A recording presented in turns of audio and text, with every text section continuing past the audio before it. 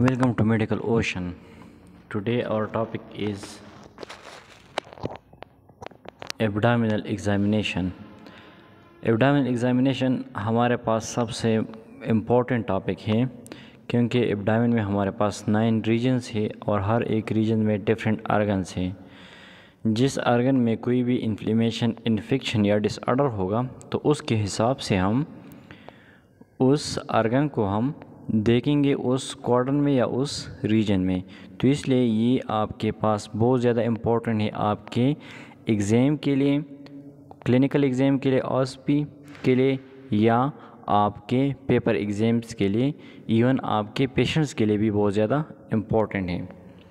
क्योंकि इसमें हम पढ़ते हैं एबडामिन्स इनस एंड रेक्टम्स की असेसमेंट हम पढ़ते हैं। कि उसमें असेसमेंट में आप लोगों को पता है कि चार चीज़ें हैं। कौन कौन से inspection palpation percussion and auscultations तो ये आपके पास एक सीक्वेंस है, लेकिन एबडामिन में क्या होगा? ये सीक्वेंस आपके पास चेंज होगा बाकी से। आगे अब हम पढ़ते हैं। ये देखो आपके पास इनाटमी ऑफ़ एबडामिन्स इनाटमी आप लोगों को पता होना चाहिए कि मसल्स कहाँ पे हैं, कौन सा अर्गन कहाँ पे हैं जीफाइड प्रोसेस कहाँ पे आपके पास हैं एलिक रीजन कहाँ पे हैं? ये सब आपको यहाँ पे आर्गन्स को आप एक नज़र देख लो, ये आपको पता होना चाहिए। तो इसलिए आप रिव्यू कर लो इनाटमी एंड फिजियोलॉजी को।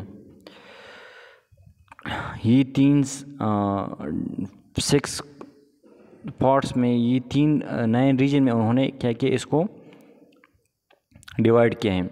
जो आपके पास जीफाइड प्रोसेस के ऊपर है, उसका इमेंट में देखो, एपिगेस्ट्रिक है। सही? उससे राइट साइड पे होगा तो राइट हाइपोकॉन्ड्रिक रीजन होगा। लेफ़्ट साइड पर लेफ़्ट हाइपोकॉन्ड्रिक रीजन होगा। बीच में आपके पास ये अम्बेलिकल जो आप देख रहे हो, ये अम्बेलिकल है आपके पास, उसके साथ में आपके पास लेफ़्ट लंबर रीजन होगा राइट साइड पे राइट लंबर रीजन्स होगा। उसके नीचे आपके पास हाइपोगेस्ट्रिक या सुप्राप्यूबिक दो नाम उसको हम कह सकते हैं। एपीगेस्ट्रिक हाइपोगेस्ट्रिक उसके अपोजिट है, या सुप्रा प्यूबिक आप उसको कह सकते हैं। फिर उसके साथ आपके पास एलिक रीजन है। एलिक बून है तो इसलिए हम उसको एलिक रीजन कहते हैं। Right iliacs and left iliac region हम उसको कहते हैं। ये नाइन रीजन एबडाइन में आप लोगों को फिंगर टिप पे याद होना चाहिए। अब आप इस वीडियो को स्टॉप कर इस नए रीजन को आप डायग्राम ड्रा करो, उसमें आप हर एक जगह पे अपने अपने नाम्स लिखो ताकि आप लोगों को चीज़ें याद हो जाएँ। अगर आपको फोर क्वार्टर में डिवाइड करते हैं, सही? Nine regions and four quarter में हम एबडामिन को डिवाइड करते हैं तो दोनों को आपको पता होना चाहिए कि अर्गन्स कहाँ पे हैं। Right upper quadrants left upper quadrants right lower quadrants left lower quadrants ये इससे पता चलता है कि R U Q right upper quadrants L U Q left upper quadrants R L Q right lower quadrants and L L Q left lower quadrants में divide किए हैं। आप मरीज़ के पास जब भी आप जाओगे तो सबसे पहले हम हिस्ट्री के बारे में पूछिए। कॉमन क्वेश्चन जो है एपिटेट एनोरेक्सिया उसको भूख लगता है या भूख नहीं लगता है, उसके बारे में हम पूछेंगे। Dysphagia difficult and swallowing means मरीज़ कोई खाना, चीज़ खाता है तो उसको, उसके इनहेलेश इंजेशन में क्या होती है, उसको मुश्किल पेश आ सकते हैं।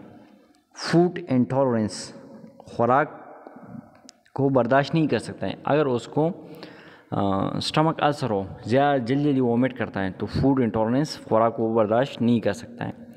एबडामिनल पेन है उसको, हेमेप्टेमेसिस। हेमे को, ब्लड को कहते हैं। Emesis, vomiting. Blood and vomiting. Nausea and vomitings. Change in bowel habit bowel habit में चेंज आता है। मींस डायरिया कंस्टिपेशंस उसमें चला जाता है। जाइंडस। हेपेटाइटिस है, उसको न्यूट्रिशनल असेसमेंट न्यूट्रिशनल असेसमेंट हम कहते हैं, साथ में हम मेडिकेशंस भी देखते हैं। ये कॉमन क्वेश्चन है, ये हम हर मरीज़ से करेंगे, उसमें पूछेंगे। इसमें मोस्ट इंपॉर्टेंट के पाए गए जो आपके एम के लिहाज से एपिटेट है डिस्फेजिया है हेमेप्टेमेसिस है कंस्टिपेशन है जाइंडस है, ये आपको एम में से एम बन सकते हैं और आ सकते हैं। इसलिए इस पर अपना कंसेप्ट आप लोग क्लियर लगो। Some history questions how is your appetite आपका भूख कैसा है? Loss of appetite is called anorexia अगर उसको भूख नहीं लगता है तो उसको इनोरिक्जिया इनोरिक्सिया नरोसा हमारे पास एक कॉमन डिसऑर्डर है साइकोलॉजिकल डिसऑर्डर है, कि मीन्स एक बंदा मोटा नहीं हो कहते कि मैं मोटा हूँ, और वो कोई चीज़ नहीं खाता है। अगर खाता है तो फिर वो ज़बरदस्ती वोमिट करता है तो उसको हम क्या कहते हैं? Anorexia nervosa for vomiting ask from patient Coca अगर एक मरीज़ वोमिट करता है तो आप उससे कोका पूछेंगे कोका आपके पास क्या है? उसकी एब्रीवेशन आप लोग याद रखो। Consistency odours colours amount of vomitings कितनी दफ़ा उसने वोमिट किया है? सही? या कंटिन्यूस वो वोमिट करता है? और उसका स्मेल किस तरह था? कलर किस तरह था? अगर उसमें रेड कलर है तो इट्स मीन्स क्या है? Haematemesis blood in vomitings फिर अमाउंट ऑफ़ वोमिटिंग्स कितना था? One episode two episode three episode हम उसको अमाउंट में हम इस तरह काउंट करते हैं। कॉफ़ी ग्राउंड और red blood vomit is called haematemesis. E M में आपको आ सकता है, हेमेप्टेमेसिस, और को का भी आपको एम में आ सकता है। In case of indigestion, heart pots and epigastric burns. अगर आप मरीज़ है आपके पास उसको हॉट बर्न्स है या एपिगेस्ट्रिक पेन है, सही? आस फार आ कोल्डेरा, उसको हम कोल्डेरा के बारे में पूछेंगे। सही, कोल्डेरा क्या है? आप लोगों को पता है। Colour, odours, locations durations exacerbation radiations सही? तो ये आपके पास क्या हुआ? कोल्डेरा हुआ। Specially focus on exacerbation and relieving factor of heart exacerbating and relieving factor किस चीज़ से वो ज़्यादा आता है वोमिटिंग और किस चीज़ से ख़त्म होता है? तो ये आपने उसके लिए यूज़ करना है कि किस चीज़ से आपको कौन सा फ़ूड आप खाते हो जिससे आपको वोमिटिंग एग्जर्गेट होता है और किस चीज़ से वो ख़त्म होता है? If the heart burns occur during after the meal then it is gastric origin but it is the causative factor and excretions and relieving factor are asking rest, then it suggests angina. दो चीज़ें आप लोग याद रखो। सही रट्टा ना लगाओ। कंसेप्ट क्लियर कर लो। अगर उसको वो मीटिंग कर रहा है या कोई चीज़ वो खाता है, उससे उसका पेन ज़्यादा होता है तो ये क्या होगा? गेस्ट्रिक पेन होगा। अगर मरीज़ है वो चलने से या बैठने से उसको पेन ज़्यादा होता है और लेफ़्ट साइड पे वो रेडिएट होता है लेफ़्ट हैंड के लास्ट टू फिंगर तक तो आपके पास क्या होगा? इंजाइना होगा। तो ये दो चीज़ें आप लोग, इसमें फ़र्क आप लोग समझो। एब्डामिनल पेन में कोल्डेरा हम यूज़ करेंगे। आप लोगों को कोल्डेरा का पता है। सही what does the pain start किस जगह से पेन स्टार्ट होता है? कहाँ तक रेडिएट होता है या कहाँ तक चला जाता है? पेन लाइक पेन किस तरह शॉर्ट डॉल वर्स किस तरह पेन है? Severity of pains pain scale use करो। वन से टेन तक। बच्चों में फेशियल स्केल हम यूज़ करते हैं, बड़ों में हम नोमेरिकल स्केल यूज़ करते हैं। वन से टेन तक। Does it make the patient lies down still फिर मरीज़ डाउन लाइफ पड़ा है। Patient like still in pain cause peritonitis अगर पेशेंट स्टिल पेन में तो उसको क्या है? पेरोटोनाइटस पेरोनियम जो है आपके पास लेयर है एबडामिन का, उसमें क्या है? इन्फेक्शन है। तो उस को हम क्या कहते हैं? पेरोटोनाइटस ये भी एम में आप लोगों को आ सकता है। पेन स्किल आप लोगों से आस में पूछा सकता है, सही? Abdomens fullness unpresent gas explosion खाना बहुत ज़्यादा खाएँ, या हर टाइम उसको नाजिया वोमिटिंग आती है तो उसको हम क्या कहते हैं? एबडामिनल फुलनेस कहते हैं। इट में आकर gastroparesis weak of the stomach muscle stomach muscle आपके पास कमज़ोर हो गए तो उसकी वजह से हमारे पास ये हो गए सही है? अच्छा। स्टमक मसल आपके पास गेस्टोपेरेसिस मीन्स स्टमक मसल आपके पास वीक होगी तो इसलिए उसको क्या हुआ? डायबिटिक की वजह से वो हो सकता है। स्टमक कैंसर की वजह से हो सकता है। एनजाइटी की वजह से हो सकता है या कैंसर की वजह से हो सकते हैं। हेपेटाइटिस की वजह से भी ये हो सकते हैं। एबडामिनल फुलनेस किस किस वजह से हो सकते हैं? अगर एक मरीज़ कहता है कि मुझे एबडामिन हमेशा फुल रहता है, मुझे किसी चीज़ का भूख नहीं तो आपको ये डिज़ीज़ माइंड में आना चाहिए।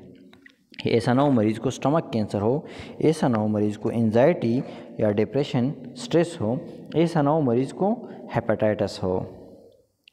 Assess the bowel function history question bowel function हम किस तरह असिस करोगे? How are your bowel movements bowel movement कैसा है? हाउ फ्रिक्वेंटली आर दे कितनी फ्रिक्वेंटली आप वॉशरूम जा सकते हो? Do you have any difficulties during bowel movement आपको कोई डिफ़िकल्टी आ सकती है कि नहीं इसके बाउल मोमेंट में? Have you notice any change in your bowel habit bowel habit में आपने कोई चेंज नोटिस किया है कि नहीं किया है? दो चीज़ें याद रखो। एम के लिए मोस्ट इंपॉर्टेंट है। मलिना। मलिना इसके कहते हैं ब्लैक ठेरी स्टूल जिस तरह तारकोल नहीं होते उस तरह ब्लैक स्टूल होगा तो उस मीन्स क्या है? मलिना है आपके पास। Hematochezia, fresh red blood in stool. Hematochezia हम उसको कहते हैं जब आपका फ्रेश ब्लड। अगर फ्रेश ब्लड आपके स्टूल में आता है, उसका मतलब है कि आपका लोअर डाइजेस्टिव ट्रैक में कोई इन्फेक्शन, कोई इन्फ्लेमेशन, कोई ब्लीडिंग हो सकती है। अगर ब्लैक टेरी स्टूल है तो अपर जीआई में कोई मसला है, उससे ये ब्लैक टेरी स्टूल बनते हैं। अपर जीआई से ब्लीडिंग होती है। प्रिपरेशंस फॉर असेसमेंट असेसमेंट आप किस तरह करोगे? मरीज़ के असेसमेंट के लिए। कुछ बेसिक रूल्स रेगुलेशंस होते हैं असेसमेंट के लिए। नंबर वंस गुड लाइटिंग जहाँ पे भी आप असेसमेंट करते हो अच्छा लाइट होना चाहिए। एम टी ब्लैडर मरीज़ को पहले आप इन्फॉर्म कर लो कि मैं आपका असेसमेंट करूँगा अगर आप चाहते हो कि यूरिन पास करना है तो आप वॉशरूम जा सकते हो। Warm temperature of the room room में वार्म टेम्परेचर होगा। क्योंकि जब भी हम एबडामिनल एग्जामिनेशंस करते हैं तो हम मरीज़ को एक्सपोज करते हैं।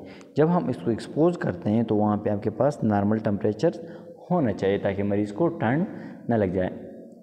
Position supine knee bends arms at the side मरीज़ की मल्टीपल पोजीशन उसके असेसमेंट करते हैं। आर्म साइड्स नी पोजीशन में भी कर सकते हैं सुपाइन में भी। तो ये डिफरेंट पोजीशन हम डिफरेंस मेनेवर्स के लिए यूज़ करते हैं। Audience of abdominal tensing relax patients abdomens पे टेंशन नहीं आना चाहिए। आप मरीज़ को रिलैक्स रखो। ऐसा ना हो कि उसके एबडाइन पे क्या हो? स्ट्रेस हो फोर्स हो या टेंशन हो। Inquire about painful area painful area के बारे में पहले पूछ लो कि किस जगह पे पेन है? उसको आप एंड में असेस करोगे उसका मेन काज क्यों है? क्यों हम एंड में उसको असेस करते हैं? हम उसको एंड में इसलिए असेस करते हैं, अगर स्टार्ट में आपने उसको पेन एग्जाजरबेट हुआ पेन उसका ज़्यादा हुआ तो फिर वो आपको बाकी असेसमेंट आपके साथ कोऑपरेट नहीं करेगा। इसलिए हम क्या करते हैं? असेसमेंट को हम एंड में करते हैं। यूजेज ऑफ़ डिस्ट्रक्शंस कोई भी चीज़ डिस्ट्रक्शन करता है आप मरीज़ का या आपका ख्याल इधर उधर जाता है तो उसको आपने पहले से उसको रिमूव कर लो। एक्सपोज द एबडामिन्स एबडामिन को आपने क्या करना है? एक्सपोज करना है। जस्ट एबडामिन को आपने एक्सपोज करना है। ऐसा ना हो कि आप जेनेटिलिया को भी एक्सपोज कर लो। सही? वो मरीज़ की प्राइवेसी को मेंटेन रखने के लिए हम जस्ट एबडामिन उसको एक्सपोज करते हैं। पहले परमिशन लेंगे, उसके बाद हम उसको एक्सपोज करेंगे। Sequence of abdominal examinations inspection auscultation percussion palpation four आपके पास ये है उस सीक्वेंस में हम क्या करते हैं? इंस्पेक्शन करेंगे, फिर अस्कल्टेशन करेंगे, फिर परकशन करेंगे एंड में हम पल्पेशन करेंगे। ये आपको एम में आ सकता है सीक्वेंस आप लोगों ने उसको याद रखना है। पेशेंट फॉर एबडामिनल एग्जामिनेशन देख लो, ये दो पोजीशन है उसमें हम एबडामिनल एग्जामिनेशन करते हैं। उसके हैंड्स उसके चेस्ट पे होंगे या हैंड उसके साइड पे होंगे। ये दो पोजीशन है आप मरीज़। Look for visible pulsation or peristalsis आपने क्या करा है? मरीज़ की एबडामिन को देखो कि वहाँ पे कोई विजिबल पल्सेशन तो नहीं है। विजिबल पल्सेशन का मतलब क्या है? कि विजिबली कोई आर्टरी कोई वेंस तो पल आ, आपको नज़र नहीं आता है। सही है? नंबर वन नंबर टू आपने क्या करना है? जी। Peristaltic may be visible, made in thin people. अगर एक मरीज़ आपके पास बहुत ज़्यादा थिन है तो उसमें आपको पेरास्टाटिक मोमेंट आप देख लो। ऐसा ना हो कि वो आपको पेरास्टाटिक मोमेंट आपको नज़र आ जाए। जो मोमेंट होता है वो आपको विजिबल नज़र आ जाए। ये बहुत ज़्यादा थिन क्वाशिकोर डिज़ीज़ जो होते हैं मीन बहुत ज़्यादा थिन मरीज़ होता है, उसका बिल्कुल एबडामिन नहीं होते तो उनमें नज़र आ सकते हैं। बाकी में नहीं आ सकता। है एवोटिक पल्सेशन आपकी जो अम्बिलिकल है, उससे थोड़ा सा ऊपर हमारे पास एवोटिक पल्सेशन हम देखते हैं। May be increase aortic aneurysm अगर एवोटिक इनोरिज़म है तो उसमें वो ज़्यादा भी हो सकता है। Observe for the skin skin को हम देखेंगे। सही कोल्ड सेट्स मास देखेंगे स्ट्राई देखेंगे, हरने देखेंगे स्ट्रिच मार देखेंगे। तो ये आपके पास हम कब देखेंगे? ये हम देखेंगे फ़िज़िकल एग्जामिनेशन में, मैं इसके पिक्चर आप लोगों को दिखाऊँ कि ये किस तरह है। Pink purple striae are noted in Cushing syndrome Cushing syndrome हमारे पास एक डिज़ीज़ है स्ट्राइड जब हम ज़्यादा यूज़ करते हैं तो उसकी वजह से कोशिंग सैंड्रोम होता है और इसमें पिंक पर्पल स्ट्राई होते हैं। कंट्रोल ऑफ़ एबडामिन्स अब शेप ऑफ़ द एबडामिन आपके पास क्या है? शेप कंट्रोल्स किसी को कहते हैं? शेप को कहते हैं। Flat slightly rounds which is normal flat shape आपके पास होगा तो ये नॉर्मल है आपके पास। Scaphoid abdomens which concave in shape and is present in patient with malnutrition concave होता है, अंदर की तरफ़ होता है। सही कनक्यू क्यों? सुराख गार को कहते हैं। कनक्यू मीन्स अंदर की तरफ़ होता है। उन लोगों में होता है जिसमें माल न्यूट्रिशन मीन्स वो न्यूट्रिशन सही तरीके से नहीं ले सकते तो उसमें concave scaphoid abdomen means concave abdomen होते हैं।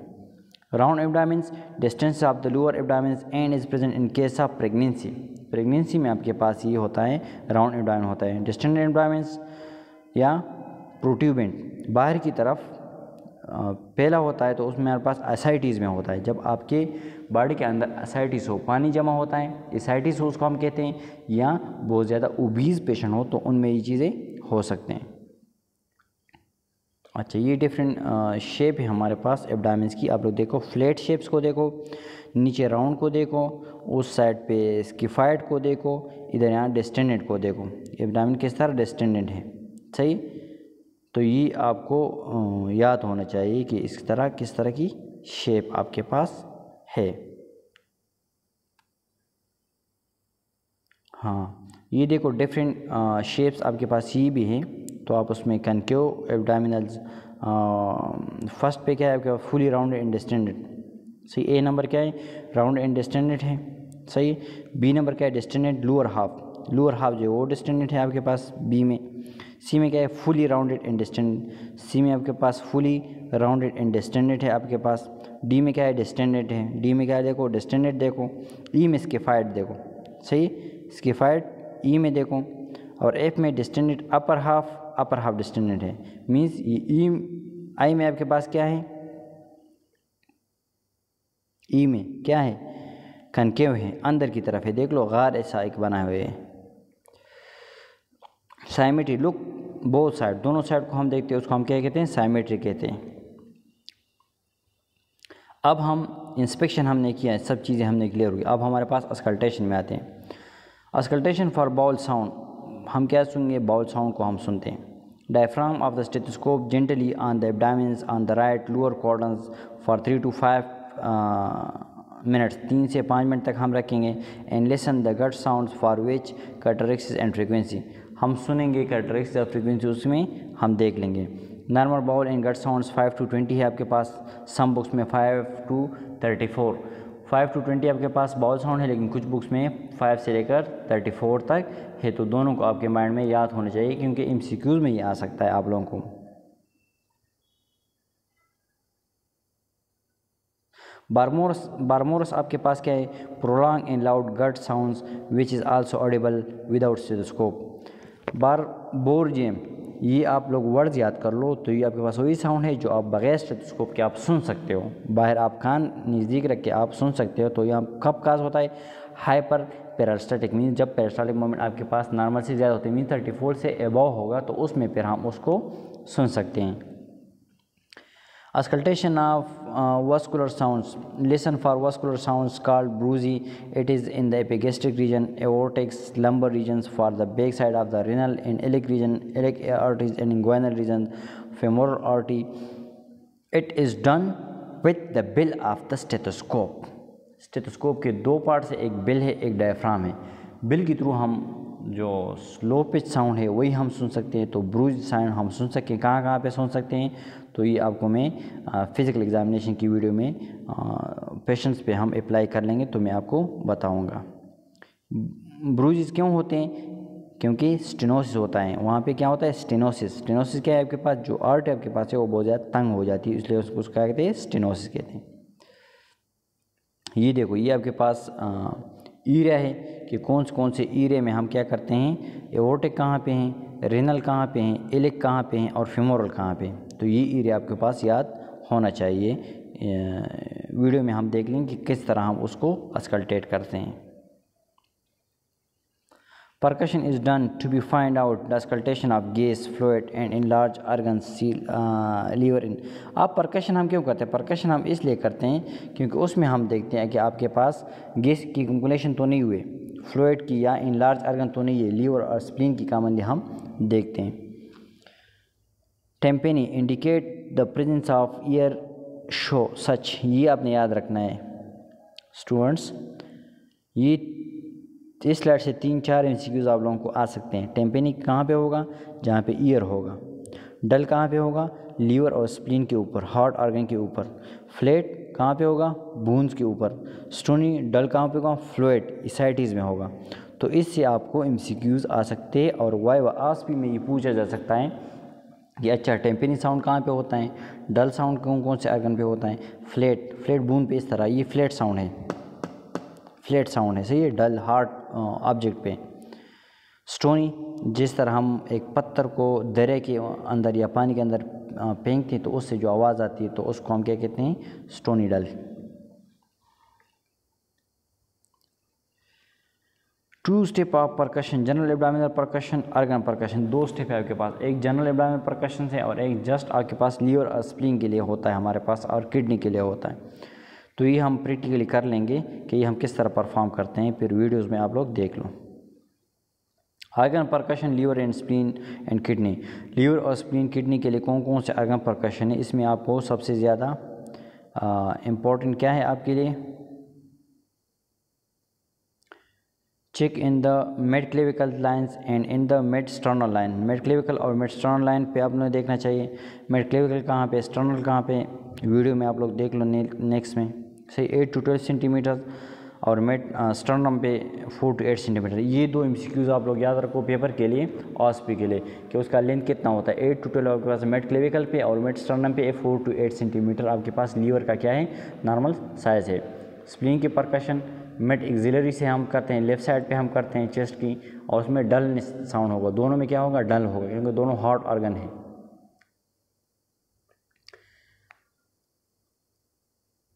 Costo verbal costo vertebral angles tenderness सही? The patient should be set upright perform through the direct और इनडायरेक्ट ब्लंट्स परकशंस हम ब्लंट परकशंस में करते हैं, किस तरह करते हैं, ये वीडियो में मैं आप लोगों को बताऊँगा। ये आपके पास फोर टू एट है सिक्स टू ट्वेल्व है आपके पास, ये लीवर का स्पेन है, ये आप लोग देख लो। यहाँ पे देख लो upper border lower border liver का पूरा जो है ये आपके पास दोबारा आपको शो किया है, ताकि आप लोग उसमें फिर गलत ना हो जाए। ये देखो, दोबारा आपके पास। ये लीवर में देखो इन लार्ज नोडुल से उसमें लीवर में नोड आए हैं। लीवर सिरोसिस या उस डिज़ीज़ में फिर ये हो सकते हैं। लीवर सिरोस जब होता है तो लीवर इन लार्ज भी हो सकता है और उसमें नोड्स वगैरह भी आ सकते हैं और हार्ट भी हो सकता है। ये देख लो इन लार्ज लीवर है आपके पास। इन लार्ज लीवर आपके पास 12 सेंटीमीटर से और 8 सेंटीमीटर से क्या होता है? इन लार्ज हो सकता है ये आपके पास। लीवर सिरोसिस में कंजस्टेड हार्ट फेलियर में और एक्यूट हेपेटाइटिस में या एप्सिस सही? तो इन सब में ये आपके पास इन लार्ज होते हैं एम में आ सकता है, कि लीवर क्यों क्यों इन लार्ज होता है? लीवर सिरोसिस में हो सकता है कंजस्टेड हार्ट फेलियर में हो सकता है एक्यूट हेपेटाइटिस या एप्सिस में हो सकता है। ये आपके पास अब स्प्लीन हमारे पास आया। सही? एक्जेली की साइड से हम करते हैं। मिड एक्जेल लाइन से ये देख लो। उससे स्टार्ट हुआ है, पीछे की तरफ़। इसमें डल्थ होगा नाइन टू इलेवन रेप्स होगा। ये आपको एम में आ सकता है कि nine to eleven ribs spleen का नॉर्मल आपके पास लेंथ है। हाँ ब्लंट परकशन पीछे से हाथ रखो फिर मुक्का मारो। उसको क्या कहते हैं? ब्लंट परकशन कहते हैं किडनी के लिए हम करते हैं। अगर इससे पेन ज़्यादा होता है तो किडनी इन्फेक्शन है। नहीं होता है तो किडनी इन्फेक्शन नहीं है। पल्पेशन पे आ जाओ। पल्पेशन आपके पास क्या है? कि मरीज़ को हम क्या करते हैं? जस्ट हम उसको पल्पेट करते हैं। पल्पेशन में सबसे पहले आपको क्या करना चाहिए? कि हाथ को अपने वार्म करना चाहिए। जहाँ पे आपके पास पेनफुल एरिया हो पेनफुल एग्जामिनेशन तो उसको अपने एंड में करना चाहिए। लाइट पल्पेशन आपके पास क्या है कि वन, टू, थ्री सेंटीमीटर हम जाते हैं, फोर क्वार्टर पे, वन, टू, थ्री सेंटीमीटर हम जाते हैं। उसमें हमारे पास नोट्स मालूम करते हैं, हरने मालूम करते हैं इन लार्ज अर्गन मालूम करते हैं टेंडरनेस एंड मास ये चीज़ें आप लोग फिंगर टिप पे रखो inguinal nodes hernia enlarged organs tenderness and mass ये हम मालूम करते हैं। पेन विद टच को हम क्या कहते हैं? टेंडरनेस एक टर्म्स है, उसको हम टेंडरनेस कहते हैं। उसका मतलब क्या है? Pain with touch it is elicited during the light palpation and is graded on the scale, range from 1 to 4 4 ये आपके पास क्या हो? वन टू फोर आपके पास ये रेंज हो गया। सही? तो उस रेंज के हिसाब से हम इसको पल्पेट करते हैं। ग्रेडिंग ऑफ़ टेंडरनेस क्या है? Grade one grade two grade three and grade four grade one क्या है the patient says that he is having pain on touch उसको पेन है टच के साथ। ग्रेड टू क्या है on touching the patient facial expression show that the patient has pain आपने touch किया पेशेंट ने कहा, मुझे पेन है। ग्रेड वन हुआ। आपने टच किया पेशेंट के फेशियल एक्सप्रेशन भी चेंज हुए। ग्रेड टू हुआ। ग्रेड थ्री में आपने क्या किया आपने क्या किया? टच किया मरीज़ ने क्या किया? मूवमेंट किया। तो उसको हम क्या कहते हैं? ग्रेड थ्री ग्रेड फोर आपको मरीज़ अलाउ नहीं करता कि मेरे ईरे को टच करो उसको हम क्या कहते हैं? ग्रेड फोर फिर याद रखो. ग्रेड वन टच किया, मरीज़ ने बताया कि मुझे पेन है. ग्रेड टू आपने टच किया मरीज़ के फेशियल एक्सप्रेशन आई से या उसके माथे से पता चला कि मरीज़ को कुछ पेन हो. ग्रेड थ्री मरीज़ ने क्या किया? मोमेंट किया. ख़ुद को पीछे हटाया. तो उसको हम ग्रेड थ्री कहते हैं. ग्रेड फोर मरीज़ आपका हाथ रोकता है कि नहीं? टच ना करो. तो उसको हम क्या कहते हैं? Grade four. ये आपने याद रखना है, ये एम में आ सकते हैं और स्पेशली ग्रेडिंग ऑफ़ टेंडरनेस आसपी में आप लोगों से पूछा सकता है। Palpate mass note if there is any palpable mass the pain abdomens any palpable mass means एक मास आपके पास है, आपने पल्पेट के एबडामिन में तो उसके हम चार चीज़ें देखेंगे।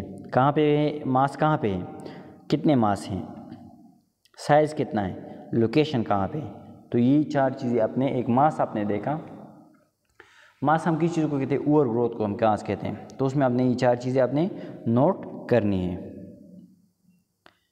लोकेशन ऑफ़ मास जज बाय द फॉलोइंग मेथड्स किस तरह हम उसको जज कर सकते हैं? Press the head of the patient with your hands on and ask the patient to raise the head against the resistance if the mass reduce the, uh, in the size or disappear it means this mass is intra-abdominal if the mass remain uh, unaltered or remain fixed which means this mass is located in the abdominal walls but the size of the abdominal increase or become prominent then the mass is extra-abdominal abdomen में मास है simple अल्फाज में आप लोगों को समझाता हूँ abdomen में मांस है। आप उस मांस पे हाथ रखो, मरीज़ के नेक पे हाथ रखो, मरीज़ को थोड़ा सा आप बैठ जाओ। तो मरीज़ जिस तरह बैठ जाएगा, अगर वो मांस आपके पास ख़त्म होता है, गायब होता है तो ये आपके पास इंटरनल मास है, एबडामिन के अंदर है। अगर वो मास उस तरह होता है, गायब नहीं होता है तो ये आपके पास क्या है? एक्स्ट्रा एबडामिनल मास है। सिंपल अल्फाज में ये मास गायब होता है साइज़ कम होता है तो आपके पास एंट्रा है गायब नहीं होता है, उस तरह है फिक्स है तो ये आपके पास एक्स्ट्रा एबडामिनल मास है। Deep four to five centimetre four to five centimetre आप डीप जाओगे। Round tenderness inflammation appendix peritonitis ये हम किस लिए करते हैं? अपेंडिक्स के लिए पेरोटनाइटिस के लिए, जो इन्फ्लेमेशन आपके पास इंटरनल हो, उसके लिए हम करते हैं। Tender area palpate at the end ये आप लोगों को मोस्ट इंपॉर्टेंट आज भी में ये क्वेश्चन पूछ सकता है कि आपको टेंडरनेस ईरे जो है वो आप एंड में करोगे। It is done for tenderness mass lumps nodes and enlarged organ tenderness mass lymph node और इन लार्ज अर्गन के लिए हम ये करते हैं। लीवर स्प्लीन किडनी वोटा के लिए हम इसको करते हैं। पल्पेशन ऑफ़ स्प्लीन स्प्लीन को हम किस तरह पल्पेट करेंगे, ये मैं आप लोगों को ऑडियो वीडियो में बताऊँगा। जस्ट आप लोग इसको रीड कर लो यहाँ पे स्टॉप कर लो, इसको रीड कर लो, ताकि आप लोगों का माइंड थोड़ा बहुत क्लियर हो जाए। लेकिन ये आस के लिए एग्ज़ाम के लिए मोस्ट इंपॉर्टेंट है। Common method of spleen palpation common methods आपके पास हैं। ये देख लो आप लोग। हाँ ये देखो palpation of screen palpate aorta और पल्पेट स्प्लीन दोनों हाथों से हम उसको करेंगे। और मरीज़ को हम कहें कि डीप सांस ले लो। जब मरीज़ सांस इनहेल करेगा तो उस टाइम नहीं, जब सांस को बाहर की तरफ़ निकालेगा तो तब हम उसको पल्पेट करेंगे। समझ आ गई? ये एम सी में आ सकता है। Cause of splenomegaly splenomegaly means enlargement of spleen को हम स्प्लिनोमेगली कहते हैं। मलेरिया की वजह से हो सकता है तिलिसीमे की वजह से हो सकता है टाइफाइड फीवर की वजह से हो सकता है। तो ये चार चीज़ें आप लोगों ने याद रखनी है। अब लीवर पल्पेशन मोस्ट इंपॉर्टेंट है। हम किस तरह पल्पेट करते हैं? जस्ट आप लोग पढ़ लो। वीडियो में फिर आप लोग देखो। Four intercostal space mid clavicular line से हम करते हैं। मेथड क्या है? ये वीडियो में हम कर लेंगे। सही? ये देख लो इस तरह, दो तरीक़ों से। दोनों हाथों को बायमिनवल एंड लीवर पल्पेशंस दोनों हाथों को हम इस तरह करते हैं। किडनी पल्पेशंस वीडियो में हम कर लेंगे। सही, आप लोग जस्ट ये याद रखो कि इलेवंथ तोरेसिक्स स्पाइन से होता है। लेफ़्ट किडनी मेथड क्या है? राइट किडनी मेथड क्या है? ये हम वीडियो में कर लेंगे, लेकिन जस्ट आप लोग इसको स्टॉप करो और पढ़ो, ये देख लो किडनी की पल्पेशंस ये बीच में पिक्चर वन को देखो टू को देखो थ्री में kidney kidney locations eleven to twelve ribs ये आप लोग याद रखो। सही कि यहाँ कहाँ तक हैं? Cost of vertebral angle most important ये एम सी क्यू में आ सकते हैं cost of vertebral angle rebounding tenderness special manoeuvre जो है ये हम प्रैक्टिकल कर लेंगे लेकिन फिर भी आप लोग उसको याद रखो, सही है?